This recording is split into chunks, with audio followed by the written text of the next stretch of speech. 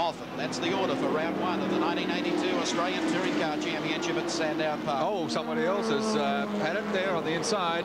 Holden car. They skirt wide. I think it may still be the same car, Oh. just expiring rather slowly. Well, that dice for uh, second and third. There's uh, opened it up for Dick Johnson. He's established a very commanding position going up through Rothmans this time. A great start from Moffat, a disaster though for everyone else because he put Brock behind him and he's now almost out of touch. He's got to get by uh, Kevin Bartlett and that'll be hard because KB drives hard and fast, very fair, but he's got a big car and he'll use all the road he's entitled to. And it'll be a great battle watching these two. Allan Moffat will get a first-class view of it because he's very close.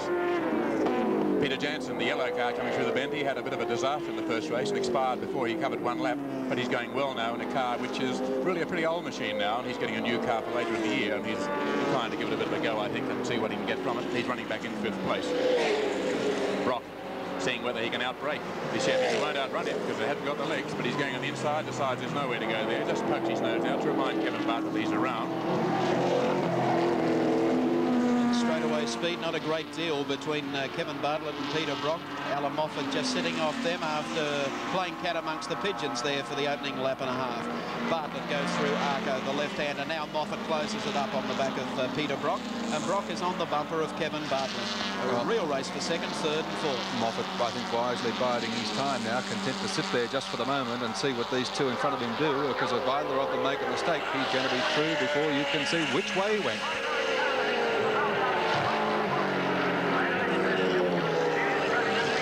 Well, now, Peter Brock has got a real dilemma here. He hasn't got the acceleration to get by the Chevy Camaro out of corners. He can't out-corner him because uh, Kevin Bartlett goes pretty hard.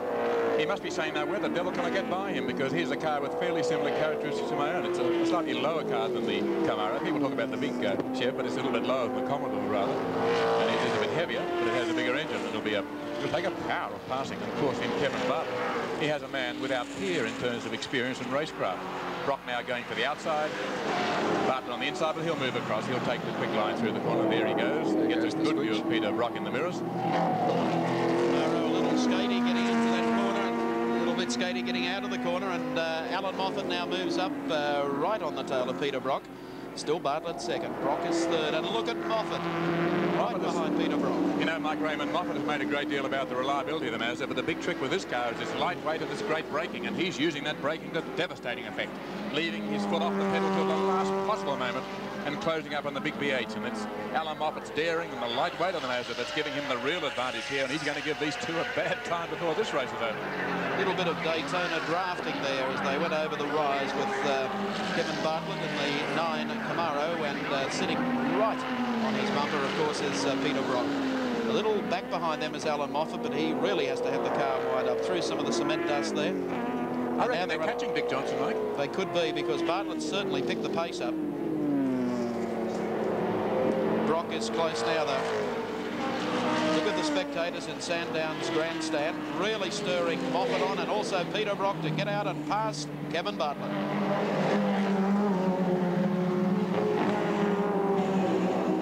4.2 seconds, the gap between the first and second car. One could say between the first and third.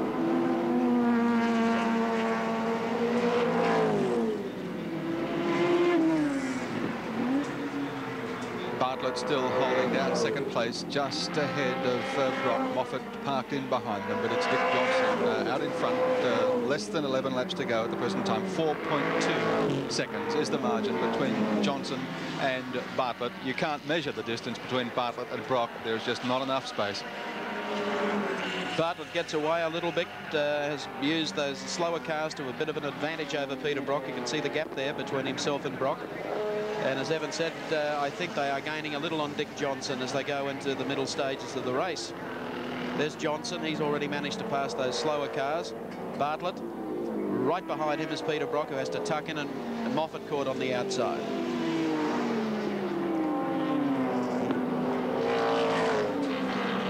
Now, if there's a chance to pass, it's going to be uh, down the straight.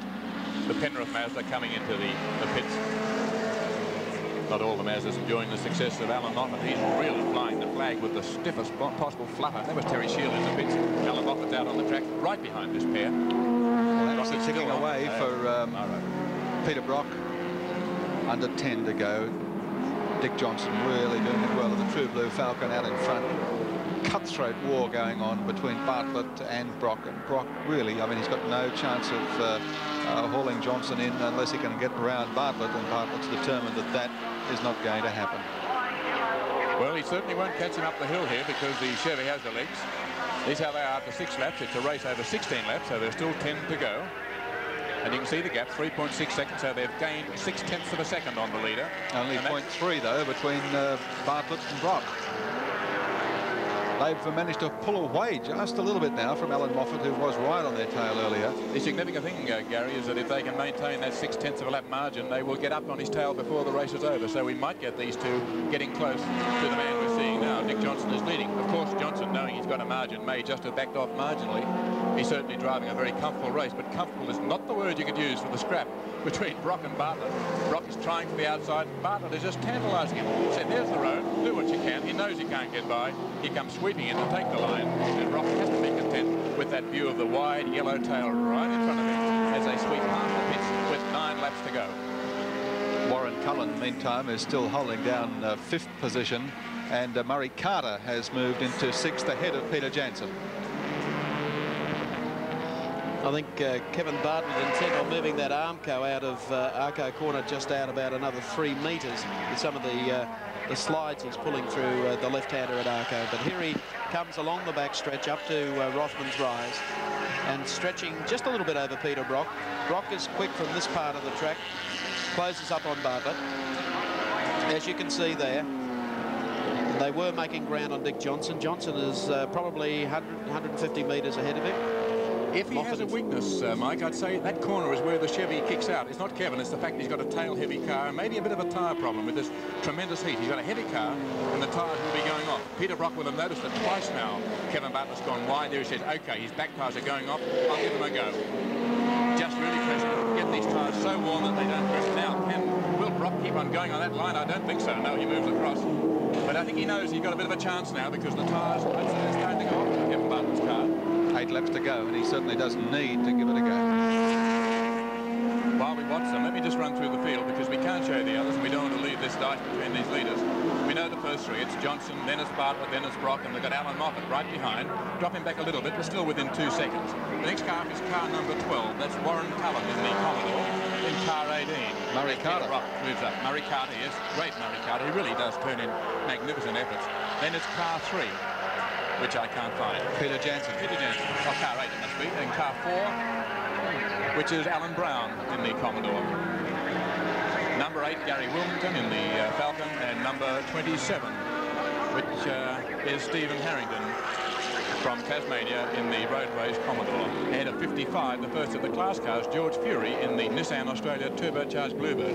The car going very well, but about half a lap behind these, giving away a lot of capacity, 1800 cc's, but turbocharged, and a pretty good rundown effort, I'm sure, as far as the Nissan racing team is concerned. But the action is up front. And it's Dick Johnson who's leading it. You can see his pursuers there, one of them about to uh, gather in a strong bow, I'd say, as he licks up one of the slightly slower. Brock right behind and getting increasingly frustrated, I think. You can see again how Kevin Out there. Didn't want to, but he just can't control it. Those tyres are hot and they're starting to lose grip. And now, if, if there's to be a move made on Kevin Bartlett by Peter Brock, he'll be up on the S's up the top, I'd say, because he will try and provoke him into a tail slide. Let's see what happens. In the meantime, as they go up the back straight, it's Johnson out on the right of the track and going flat out as he passes some of the slower traffic.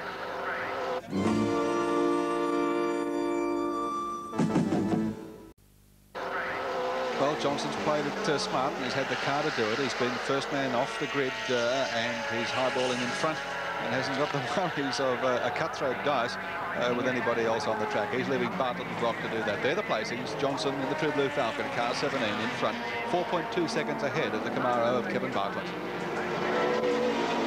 Kevin held it fairly well that time, just touching the dirt, but the tail still sliding a bit. Peter Brock is quicker through there, and this is where he's trying to make his move, but Bartlett has the power. He puts it down. Brock taking a tight line there, being a little untidy just to try and sharpen up the corner and get through.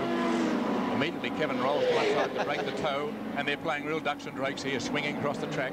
He doesn't want to give him the aerodynamic benefit of towing him on, but he's given him the best line if only Brock had the legs. But he's just once again saying, OK, pass me if you can. He knows he can't get by, and Brock is content once more with that wide yellow view in front of his, uh, his bonnet. He'll be trying to get a very fast line, Will Brock, through here, just to get the pace to get out and counter the extra 700 cc's of car. Look how that car is starting. His tyres are going. Brock gained himself maybe a couple of foul there. Gets up tight. He'll be wound up. He's a little bit quicker up here as he has the revs out of the corner. It all counts. And this is where he might make a move. Bartlett's not going to give. How good are the brakes? How good are the tyres? Those are the questions in both men's minds as they come over the top Well, of the Rothmans indications there rise. now that uh, another lap or two of hard pushing like this and uh, the opening might just come for Brock. Just over five laps to go. So he really is only going to get one chance probably and when it comes he'll have to grab it with both hands and run. Kevin Bartlett has slowed down a little bit on that corner. He's doing it very cleverly. He doesn't want to slide the car. He's just saving a few hundreds there just to try and conserve the tyres. He's content to see Peter Brock move up on the tail. He knows he can out-accelerate him or at least keep in front. And he's walking Brock through that corner just slightly, just to try and cool the tyres down and save them for the last few laps. They only have another five to go. Kevin Bartlett still in second. Peter Brock third. Allan Moffat is fourth. We picked them up coming on to the short straight approach to the left-hander at Arco. Dick Johnson still with a very firm hold on this race. Brock with it. One of the Nissan Bluebirds there, the turbocharged cars, pulling over to the left, doing a, a stunning performance for a class car, giving away so much size in terms of engine capacity. Doesn't have the power though, and you can see it there being passed by Allan Moffat with his uh, peripheral ported rotary, who scoots away. But certainly we're going to see more turbocharged cars in ladder racing, you can be sure of that. In car 55, the George Fury driven car from Nissan Australia. A very distinct straw in the wind for the types of cars we're going to see. Telltale signs of just a little brake lock up uh, from Brock there on a couple of occasions. A problem he did suffer in the first heat earlier in the day as well. It was checked, but obviously they still need some adjustment there to get uh, get things set just right. Still uh, clinging to the tail of Bartlett. And throwing that Commodore around uh, through the uh, S's. But Bartlett at this stage Gets with the away run, there. Gets away from him in the straight, and Moffat now starting to make his move. He's starting to close on them a little bit more. Slower car, getting a little bit of swish there from uh, Peter Brock. Didn't leave him any room, but he didn't have to either. There's Moffat coming through behind those. I think both these cars might be suffering from being involved in such a heavy duel uh, situation that's uh, escaped as far as uh, He's having a nice run, which he can do at his own pace. But we've had uh, Kevin Bartlett flinging the car very heavily and probably upsetting the, uh, the tyres a bit. We've had Peter Brock braking very heavily where he goes deeper into the corners and maybe doing some damage as far as his brakes are concerned. And both cars probably in a bit of distress because they've been battling so strongly against each other. In the meantime, the lead by uh, Johnson, the Queenslander, is now 4.5 seconds, so he's not being caught. He's maintaining the lead he had some laps ago.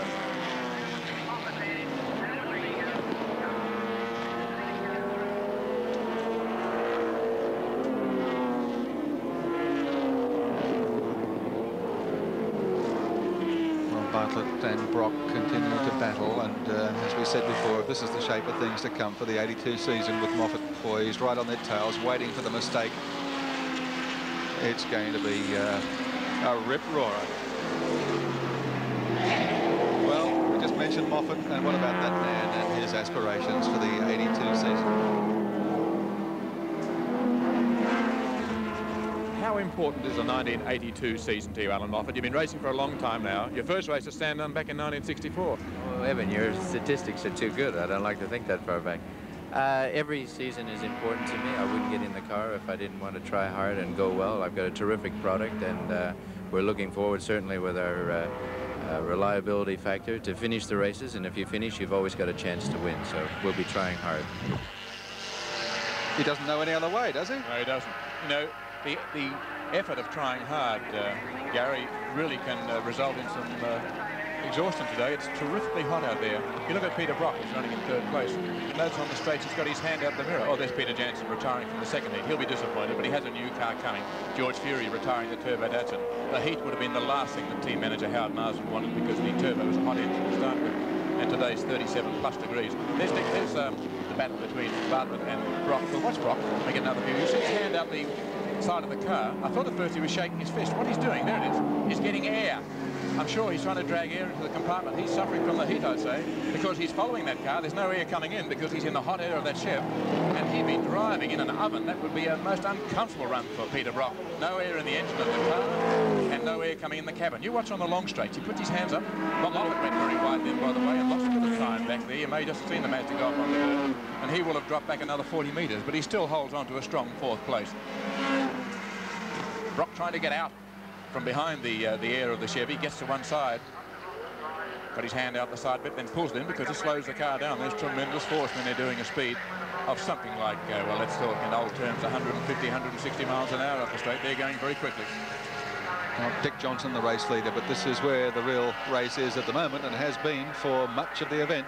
This uh, tremendous battle for second place between Bartlett and uh, Brock. Only just over a lap to go, in fact, for the race leader, Dick Johnson. Uh, is there time yet for Brock to get through here and snare second place ahead of Bartlett in the 9 Camaro?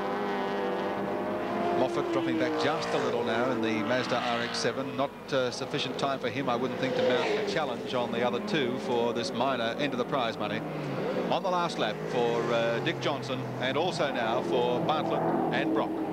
We'll certainly cover the race in uh, every aspect as far as uh, Kevin Bartlett and uh, Peter. Oh, full tail slide job by Kevin Bartlett. Brock was a little uh, skaty too, getting into the Repco corner down here, so I think that their tyres have gone off a little. But Dick Johnson has done a stir. Oh, Bartlett just shaving the trees down there on the Armco. That may have given Brock his only chance to catch up a few metres. Now, the only place he can capitalise is on the back straight. The, the place we should watch, though, I think, uh, Mike, will be up on the bench because there's no doubt that the tyres are going off the big Chevy tomorrow. Well, this is the last chance, isn't it?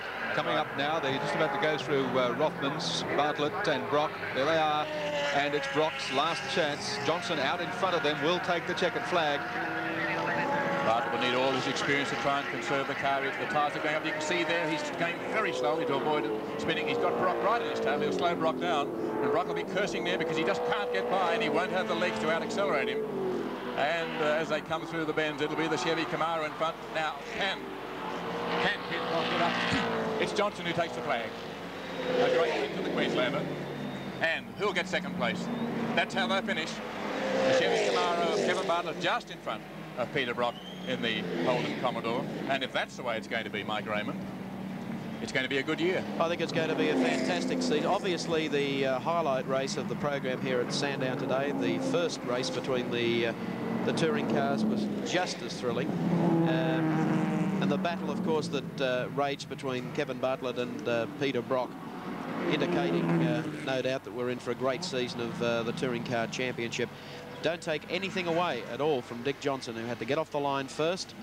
Hey, he did it the smart way. He did it the smart way. Yeah, let it. Didn't get involved in all that uh, scrapping and all that hullabaloo. Uh, Dick could be smiling. I mean, he really has uh, done it pretty easy under the circumstances. Well, he won the Touring Car Championship last year and was awarded the James Hardie Classic at uh, Mount Panorama. Uh, one race that he's obviously looking forward to going back to later in the year. He'll be appearing at uh, Amaroo Park at uh, Channel 7's next televised motorsport meeting out of uh, Sydney in March.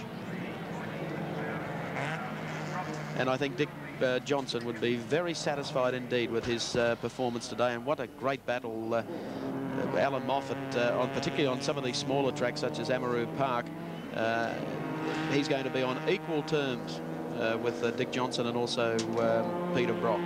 Most people here today have been drinking the ice, but Dick Johnson is using it in the back of his neck. It must have been very hot out there, Dick. Yeah, actually, even after the first race, we put a barometer in the car, and the, the interior temperature of the car was 145 degrees. So in this monkey suit, it's very, very hot. Yes.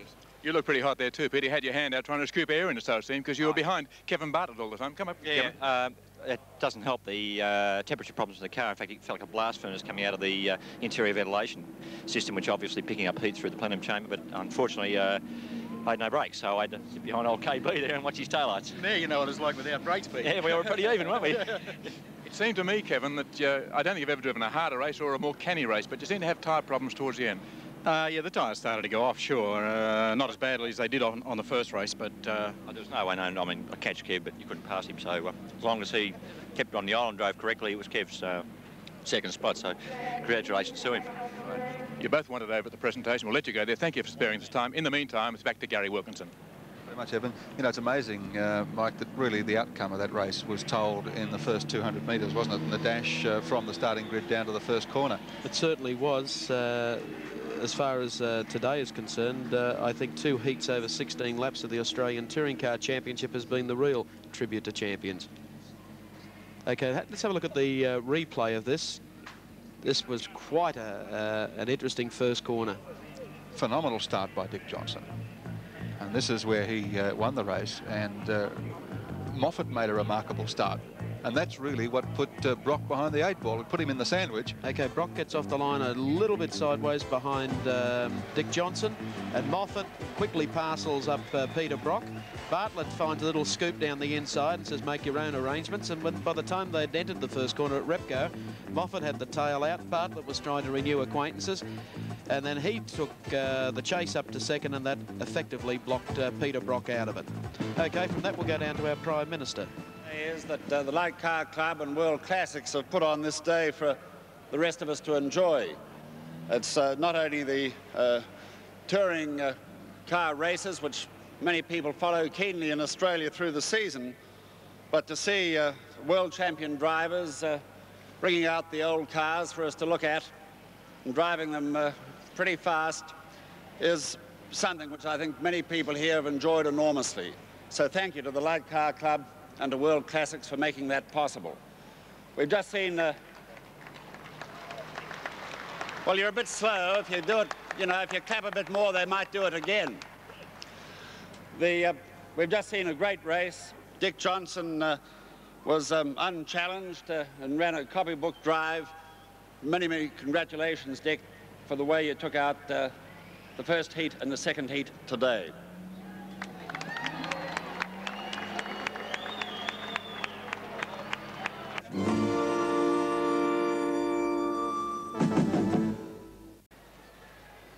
Evan Green now talks to one of the great motoring enthusiasts. Thank you, Gary. Well, there's no greater motoring enthusiast than the Prime Minister, and I'd like to ask you, Mr Fraser, what's your favourite car here today? Well, I think that's very hard, but um, probably that old P3. now, you like Italian cars like I do. I think you're a bit biased. Well, I might be biased, but in, in 1935, to imagine that uh, old P3, driven by Nuvolari, beating the great, huge, modern, powerful German cars of the day, which were much more modern, had the total backing of, uh, of Germany at the time, and that, you know, one game Italian in a brilliant piece of machinery by the time it was outdated. And, you know, that was a, magnificent driver and a great car. And it, it was out on this, this track today, what, 40 years later. Do you enjoy the modern racing as much as the older cars? Well, maybe not quite as much, but I, I think I haven't had time to watch it and, you know, it's harder to tell which car it is sometimes if you only look at the races occasionally. Um, to me, a, a, car is something with the engine up in the front and great big long bonnet. But that uh, that's a mark of age, so I better stop that. You, you, must find it hard as an enthusiast to get in the sort of driving you'd like. Do you get the chance to drive much these days? Oh, not very much, uh, but um, you know, occasionally somebody lends me an interesting car and I take it down to the farm. The roads are fairly open and vacant not much traffic around. Uh, but, uh, you know, cars are changing and good cars are within reach of most people these days, which wasn't the case 20 or 30 years ago. And cars of great performance too. Really, these modern cars have outstanding capabilities in terms of road holding and braking, don't they? I think this is where cars are improving enormously in road holding and braking, and, and they certainly needed to because uh, by, by good standard, this is one of the reasons why I first liked the Lancias, because for generations they've been good road holders, no matter what their engine power was, and therefore they were safe, good road holding and good brakes. And many cars that were mass-produced and whatever uh, didn't follow those standards. Well, now it's good to see that um, the major companies, the mass-produced cars, are paying a great deal of attention to road holding and brakes because they realize that this is the kind of primary safety that people need if they're going to save their lives. It's a real instance of motor racing improving the breed, to use the old cliche. Well, I think it does. I really do, because obviously out here you've got to uh, have cars that are safe, that will stop when you ask them to stop. And uh, um, people sometimes forget it's just not a car to go from here into the city or whatever. If something goes wrong or if a child jumps out in front of you, you can't necessarily foretell that. And uh, even if you're going quite slowly, You need a car that will perform well, that won't slip if it's wet. And uh, this is where good design is so important. I think you'd have made a great motoring rider.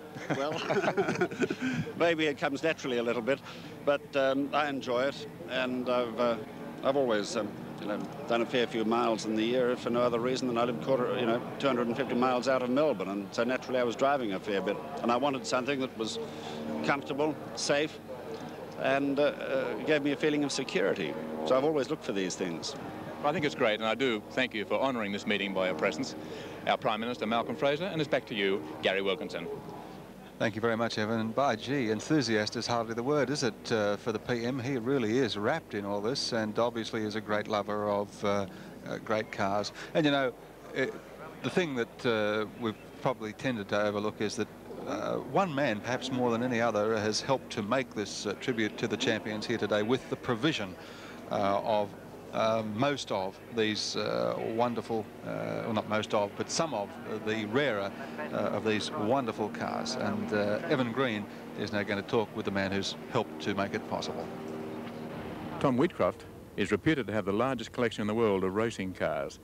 He's also known, according to the press releases, as a multi-millionaire. So I'm tempted to ask you, Tom, what do you do for a crust? Oh, you hear these stories, you know, these multi-millionaire things. Uh, someone dreams about it. Well, you do own the Donington uh, Museum and the racetrack. Oh, you, yes. And you have how many race cars there in the museum? Uh, there's 102 in the museum at the moment. There's 64 more to go to get the world collection. So you're out for the world for the for complete lot. You've got the um, the new the whole range of BRM, I believe. You've got what 13 BRMs there. Yeah, we've got 13 BRMs and the first transporter, which was a purpose-made transporter, the first one ever and very interesting that because every car and the transporter always run on Dunlop tyres and the whole lot's all on Dunlops and we hope to run them before this year's out because they've never been seen together, let alone run together. What do you regard as your favourite cars? Um, well, I very much like the 250F Maserati that's here. The simple reason I like it, it's so easy to drive, it's forgiving and also a four-cylinder front-engine BRM called the P25. I like that. It's a very torquey engine. An old fella like myself can jump in it and have a little bit of fun. And well, you own all these cars. You own a racetrack. Do you ever get in these machines and drive them around? Yes, not a, not as much as you'd ever imagine. Less now I've got a racetrack than I ever did before. I don't know why. I couldn't tell you. Uh, but probably a couple of days every summer I get two or three friends and we have a day there playing like children. We think we're Stirling Moss and Fangio. Bill Patterson in the Cooper Climax with which he won the Australian Gold Star Championship in 1961. The glorious Mercedes W154. Trying to see whether it's Jack Brabham or Denny Hulme at the wheel. Uh, it should be Jack Brabham. It is Jack Brabham, indeed. Jack, Jack had uh, as he said, some troubles in stopping when he was out last time and took $800,000 worth of priceless motor car, if you could forgive such a mixture of words, onto the grass. That, um, which must have had the, the hearts a fluttering of the people from Daimler Benz who've